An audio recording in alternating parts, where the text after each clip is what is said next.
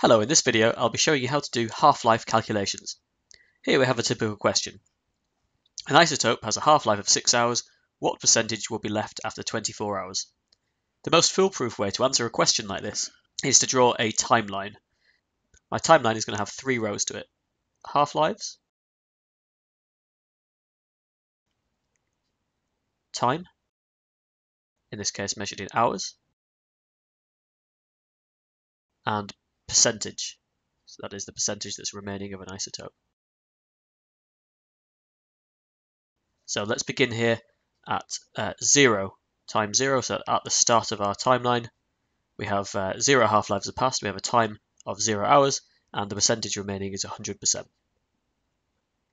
Each half-life is 6 hours, so let's go up in steps of 6 hours. So 6, 12, 18, and 24 which would be one, two, three, four half-lives.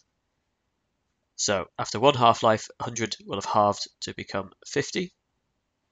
Then it will halve again to become 25. Again to 12.5. And finally, it will halve to 6.25. So 6.25 is our answer. That is the percentage, 6.25% of this isotope that will be left after 24 hours. Here's another question. Carbon-14 has a half-life of around 6,000 years. If the initial activity rate of this carbon-14 is 200 counts per minute, how long will it take for this rate to fall below 10 counts per minute? So once again, we can start by drawing a timeline. So half-lives, time, this time in years, and activity. We know that at our starting time, that is zero half-lives, zero years, we have a starting activity of 200.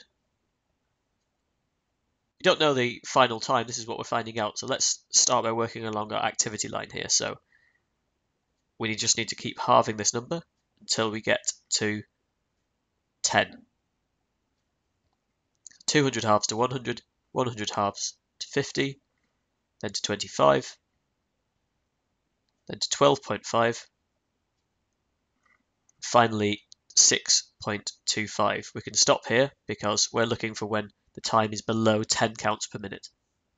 So let's see how many half-lives that is. That's one, two, three, four, five half-lives, which means that the time will be 6,000 years per half-life, so that's 6,000, 12,000,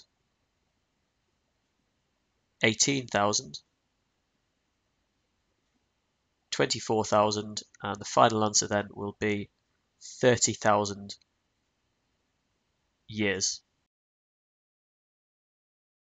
If you'd like to learn how to solve some more challenging half-life problems, click on one of the buttons on your screen now. You can choose between a GCSE exam question from the OCR 21st Century Science spec from June 2013 or a couple of questions from the Oxford Physics Aptitude Test, that's the entrance exam for Oxford University.